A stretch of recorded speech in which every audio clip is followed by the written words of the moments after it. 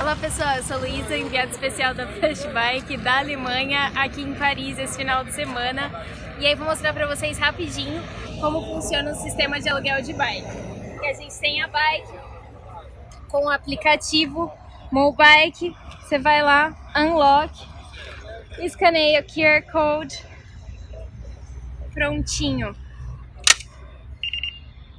Fez o som, bike está agora liberada para a gente fazer o passeio. A gente vai fazer agora uma corrida até a Torre Eiffel. Ando de bike em Paris e lá de patinete.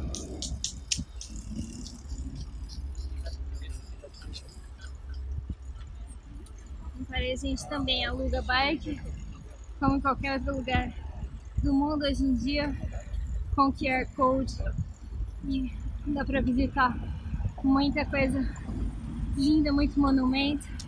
Agora a gente está indo para a torre. Um beijo.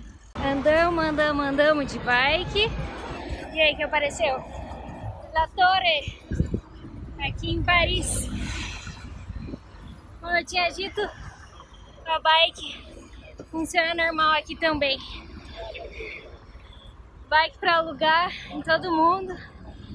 É uma alternativa sustentável de meios de transporte que você gasta umas calorias e ainda se diverte muito. Beijos!